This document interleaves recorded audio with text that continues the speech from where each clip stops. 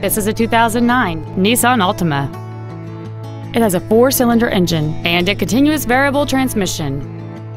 All of the following features are included. A low tire pressure indicator, air conditioning, cruise control, a security system, an anti-lock braking system, front airbags, latch-ready child seat anchors, steering wheel controls, full power accessories, and this vehicle has fewer than 21,000 miles on the odometer.